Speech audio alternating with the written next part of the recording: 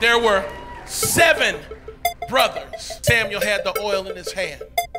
When David got there, God says, Him. And the oil begins to flow. Not on one, two, three, four, five, six, or seven, but on number. The title of my sermon is I Am Number Eight. Are there any number eights in this church tonight? Number eights in the balcony tonight? Are there any number eights online tonight? Are there any number eights anywhere tonight?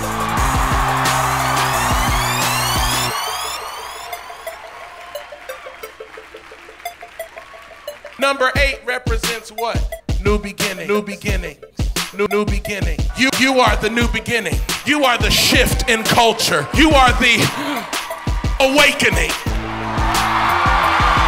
Number eight represents new beginnings. Are there any number eights anywhere tonight? I am number eight.